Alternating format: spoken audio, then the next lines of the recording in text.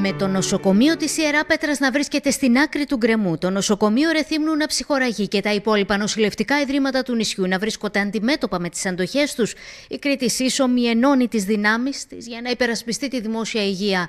Παραγωγικοί φορείς και συλλογικότητε του Ρεθύμνου συντονίζουν τη δράση τους ώστε στις 5 το απόγευμα της 22η Φεβρουαρίου να δώσουν ηχηρό παρόν στο Παγκρίτιο Συλλαλητήριο που θα γίνει στην Πλατεία Ελευθερίας στο Ηράκλειο. Για μας η Κρήτη είναι ένας ενιαίος υγειονομικός χώρος Ό,τι συμβαίνει στην Ιερά Πέτρα μας αφορά και εμάς, διότι αν αρχίσουν ε, να γίνονται συγχωνεύσεις θα φτάσουν και μέχρι εδώ.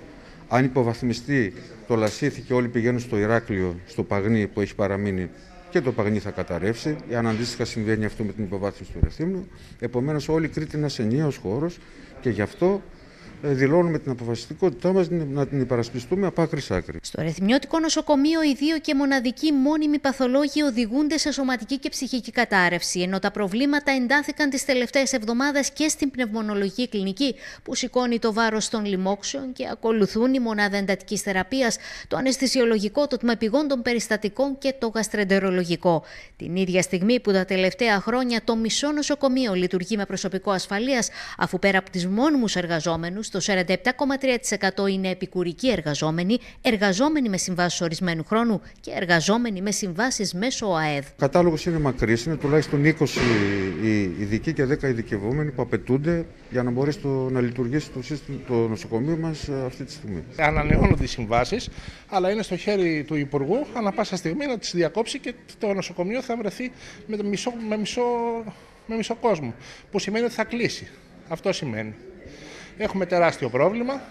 Ζητάμε μονιμοποίηση και καινούργιες προσλήψεις. Να, να βγει καινούριο οργανισμός, να ανοίξουν θέσεις, να βγουν καινούριε προσλήψεις. Ο οργανισμός είναι από το 12. Παίρνουμε από το ήδη υπάρχουν λίγο προσωπικό και καλύπτουμε ανάγκες του νοσοκομείου.